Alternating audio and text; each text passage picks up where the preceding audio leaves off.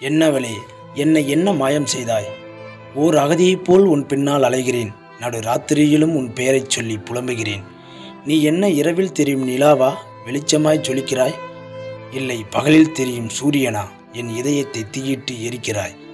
தொலைபேசியில் உன் குரலை கேட்டால் தொலைதூரம் நடக்கிறேன். நான் எங்கே இருக்கிறேன்றே தெரியாமல் திசை தெரியாமல் தவிக்கிறேன். நீ என் கைபிடித்து நடந்தால் இமயமலையும் தொடுவேன். நீ என்னை விட்டு பிரிந்தால் கருவில் மீண்டும் எழுவேன். என்னவளே உனக்கு மகனாக? இப்படிக்கு உங்கள் மஞ்சை கவிஞன்.